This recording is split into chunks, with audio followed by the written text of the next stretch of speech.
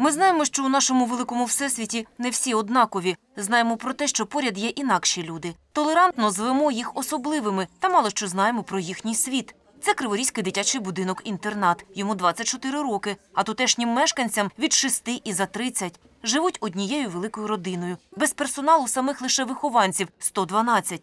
Вроджені патології у них дуже різні і часто вкрай важкі. Цілі групи тут відведені для лежачих дітей. Їхні няні знають характери і звички кожного, бавлять і догоджають малюкам, як тільки можуть. Третина дітей, хоч і не може самостійно ходити, проте здатна пересуватися на візочках. Тих дітей, у яких психолог підтвердив збережений інтелект, навчають елементарним побутовим речам. Наливай чаек.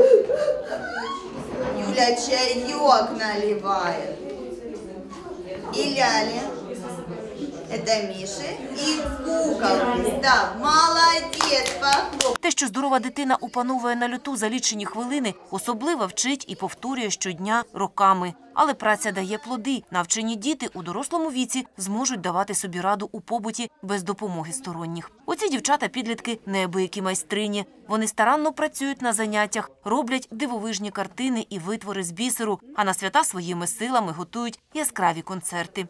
Цього року при будинку інтернаті відкрили групу денного перебування. Діти-інваліди, що мають родини, впродовж дня займаються з вихователями, а увечері їх забирають додому. Клопоти у цьому будинку від звичайних домашніх відрізняються хіба що масштабами. Те саме прання, але майже по 200 кілограмів білизни щодня. З таким навантаженням і пральня, і машини потребують оновлення Те саме готування, але лише супу тут щодня варять по 40 літрів. Кухонне приладдя, на якому готують сніданки, обіди і вечері малечі, ледве дихає і просить заміни. Фізіотерапевтичні апарати з минулого теж вже не проти піти на спокій, але ще тримаються. А ось від мобільного пандуса для візочників у будинку б не відмовились. У нас, э, скажем, процентов 30 детей находятся в колясках.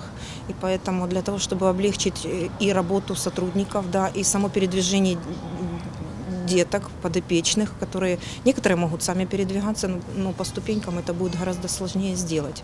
Поэтому с этой целью, э, как говорится, время не стоит на месте, придумали вот эти вот разборные пандусы, мы рады будем, если нам их попробуют приобрести. Полегшити життя дітей-інвалідів і персоналу цього будинку-інтернату і подібних йому можна, якщо взяти участь у благодійному аукціоні «Звичайне диво». Зібрані на ньому кошти підуть на вирішення проблемних питань особливих закладів.